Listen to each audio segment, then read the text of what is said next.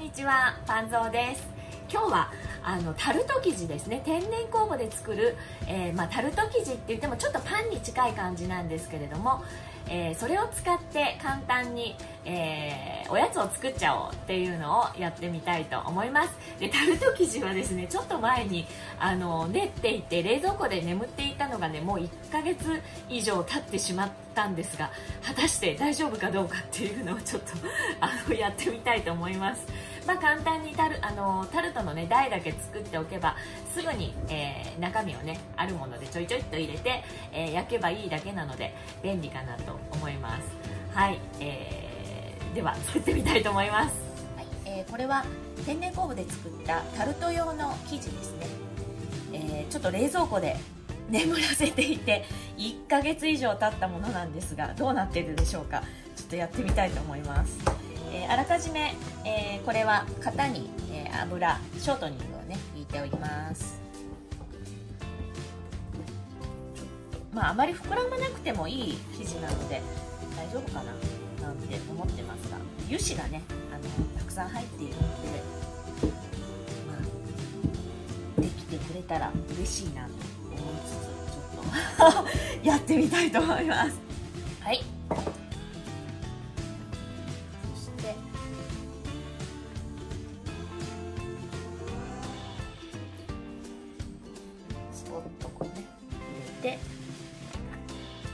を整えていきます。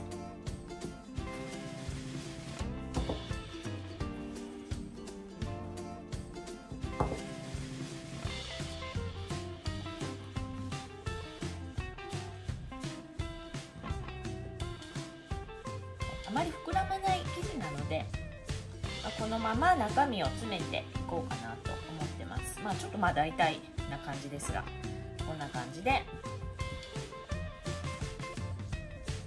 はい、えー、できました。これはね外側の、えー、皮というか生地ですね。外側の生地を詰めました、はい、今日は、えー、タルト型にこのマロンペースト。これね近所の方からいただいたんですがすごく美味しいあの自家製のあのマロンというか木にお家のお庭になっていた栗の木をねこうペーストして自分で作ったっていうねすごくあの素敵な方がいらっしゃるんですがその方にいただいたとても美味しいあのマロンペーストです手作りの。これを、えー、入れてみようと思います。あとりんごですね。りんごを上に飾ろうかなと思います。はい。じゃあさっきのこのタルトの台の上にまあ何でもいいんです。お家にあるねジャムでもいいしあのカスタードクリームでもいいですしなんかねあるもので季節のものだとねなおいいかもしれないですね。これからだとえいちごなんか美味しいかも。いちごのタルトなんてね。はい。こうやって入れていきます。もう詰めちゃうだけです、はい、敷き詰めます。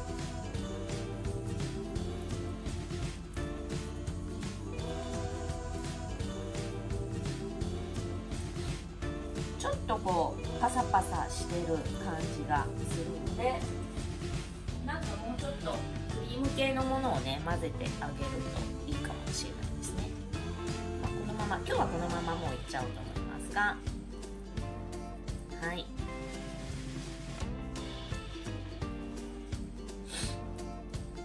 はい敷き詰めました。じゃあ、えー、こんな感じでね、えー、リンゴを飾っていこうかなと思います。まあ、これもあの何でもいいです。ちょっと今日はねこんな感じであのお花のような感じで飾ろうかなと思います、は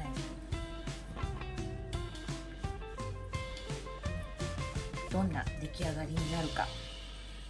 えー、このね生地がちょっとあの心配なんですけど 大丈夫かな？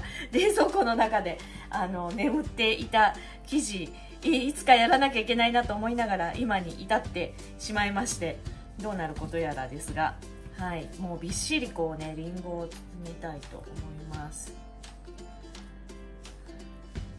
隙間があるので隙間に詰めてはい真ん中真真ん中ちょっと切ろうかな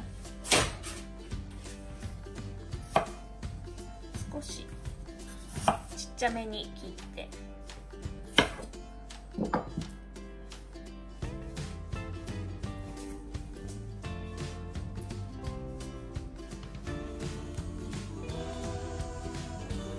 はいこんな感じで。飾りました。はい。こんな見えますかね。はいこんな感じで。でとバターを入れようかな。と思います、えー、少しですね、えー、ちょっとちっちゃめに切ったものを、まあ、ちぎったような感じでもいいんですけど少しこうパラパラパラっと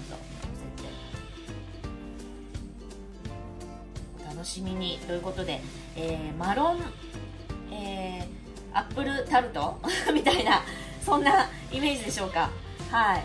本当にあのお家にあるものでやってみました。はい。でこれで、えー、こういう風にねちょっとバターを散らして、え焼いてみようと思います。